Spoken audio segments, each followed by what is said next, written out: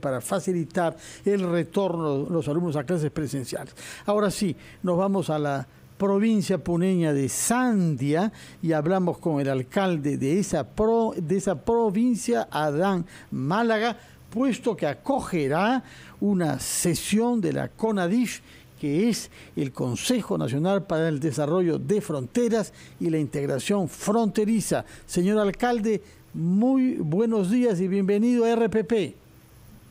Buenos días, Fernando. Eh, por su intermedio, hacerle llegar el saludo a todo el país, a mi provincia de Sandia, que hoy cumple un aniversario más como ciudad, 132 años, y a todas las líneas de frontera que nos vamos a concentrar en esta sexta sesión en la capital de la provincia de Sandia, uno de los 13 departamentos de uno de las 13 provincias del departamento de Puno.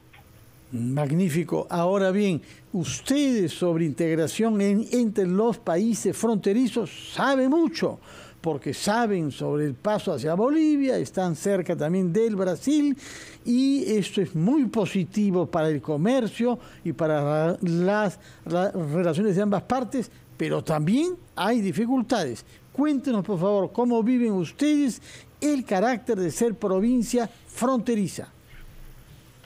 Claro, eh, claro está que hemos crecido con una influencia muy importante desde la desde Bolivia, muchos de, de la línea de Puno, en la línea de frontera desde Desaguadero hasta el valle del Tamopata, bueno, hemos sido muy influenciados, ¿no? Eh, por las eh, redes de, comunicaciones y, y por el desarrollo que ha forjado el, el expresidente con las carreteras que llega hasta Desaguadero y nosotros no tenemos una vía adecuada de, acceso, ¿no? Por otro lado, esta cuarta, hasta la cuarta sesión del CONADIP se ha estado centralizando en la ciudad de Lima y nosotros el 2019 pedimos que se descentralice y la quinta sesión se ha llevado en Chachapoyas. Para esta sexta sesión hemos pedido en Chachapoyas que sea la sede y bueno, por situaciones eh, de, de la pandemia y también las crisis políticas no se ha podido llevar a cabo. Sí, alcalde, cuando usted habla de eh, la influencia, las carreteras, el desarrollo fronterizo, efectivamente hay una postergación eh, grande en nuestras fronteras en general. Estamos hablando del sur, estamos hablando eventualmente del norte mismo y eh, de, del oriente pero hay un problema también muy grave sobre la circulación de contrabando, ¿no? Es algo que se va a tocar en esta reunión, que es un espacio de articulación política para eh, afrontar los temas que tienen que ver con los espacios de frontera. Por supuesto que sí, no solamente el narcotráfico, la tala de, de árboles, la trata de personas, el mm. contrabando, la minería ilegal, son problemas en, conjunto que debemos atacar de manera multisectorial. Sucede que en muchas localidades como Sandia, eh, la primera respuesta la da el municipio. San Pedro de Putinapunco no tiene al ejército, no tiene una base, el ejército tampoco tiene eh, policía, un puesto policial, todo se centraliza en la capital de la provincia mm. y por otro lado no tenemos unidades vehiculares para que puedan hacer el patrullaje exacto, ¿no? Entonces, son temas que sí, eh, de, de, priori vamos a tratarlo, el ministro de Defensa eh, y el ministro del Interior han, han garantizado su presencia, esperamos que el arribo el día de mañana.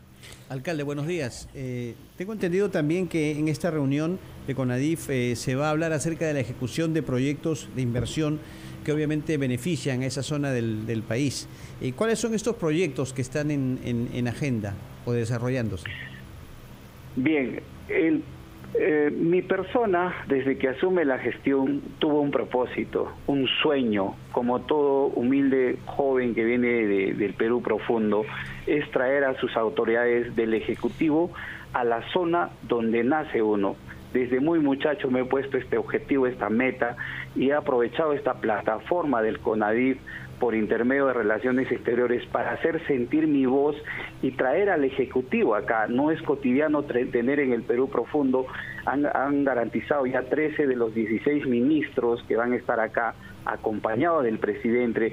Dentro de los ministros está el ministro de Economía, que es importante quien pueda tomar decisiones nuestro clamor en Sandia, en la capital de la provincia de Sandia y la provincia de Sandia en sí, que somos 10 distritos, es la carretera de doble carril, de, de, doble transitabilidad, que siempre lo he estado mencionando, las visitas que he ido a RPP, somos campeones del mundo en café, exportamos papayita, tenemos sobreproducción de granadilla, pero no tenemos una carretera adecuada.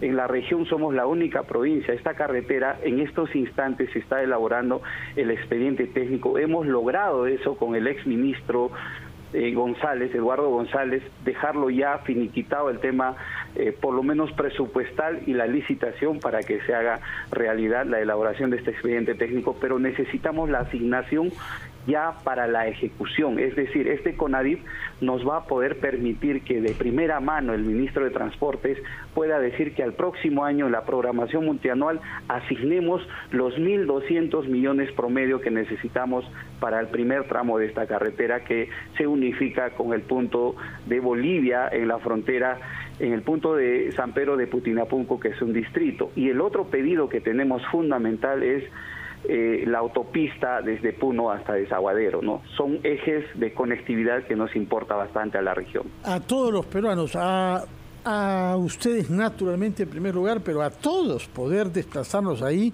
de una manera eficiente, segura y rápida. Muchas gracias y felicitaciones, eh, señor alcalde, por haber realizado lo que nos ha dicho que era un sueño de niño, llevar a las autoridades regionales a su provincia Sandia de Puno. Trece ministros estarán presentes ahí para discutir sobre un tema fundamental en un país como nosotros que tenemos 7 mil kilómetros de perímetro fronterizo. Muchas gracias, señor alcalde.